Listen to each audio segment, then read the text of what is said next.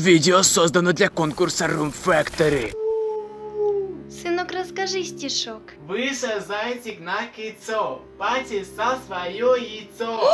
Ты засунул откуда такое знаешь? а Откуда ты такое нет. знаешь? Забудь, забудь, забудь.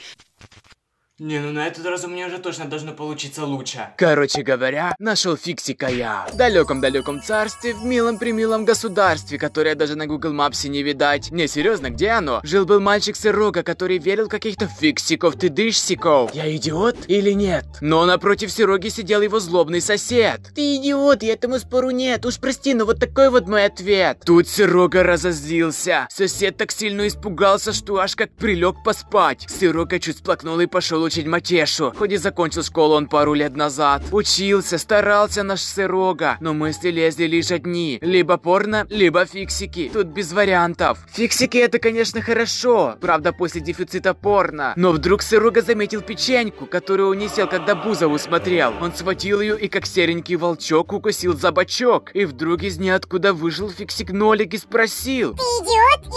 Сырока поперхнулся и ответил. Да, чуть-чуть я идиот. И Нолик грозно как ему сказал. Еще раз ты нас будешь искать, мы тебя. Не успел он доказать, так Сырога сразу же прибил его книжкой. После этого с Сырогой творилось что-то ненормальное. То все бытовые приборы сломятся, то наливает водичка, а получается компот, то как-то странно меняет надежду. Хоть и без рифмы, но Сырога был уже зол. Он пошел по-мужски разбираться с фиксиками. Зашел он в комнату свою и увидел там Room Factory. Максим веселый, как апельсин. Миша, ну это, конечно же, не Гриша. Ну и Ваня. Сырога так рад был, что аж ударил сам себя. Побежал к ребятам наш Сырога и спросил, где же Настенька? Ведь мечта Сыроги была Настя. Он мечтал с ней за ручки походить. Но ребята лишь молчали. Обиделся Сырога. Кстати, между нами он даже чуть-чуть сплакнул. Взял какой-то болтик и грубо поставил перед собой. Встал на колени и просил прощения. Но фиксики ведь были добрые. Просто пару раз избили его. Конец. А кто слушал, молодец. А хотя нет. Помните ту печеньку? Так вот, ее отравили как пельменьку. Злой сосед хотел убить Сырогу, но у него ничего не получилось. А вы что думали, что Сырога фиксиками бредит? Разве что только Настенькой. Короче говоря, нашел фиксика.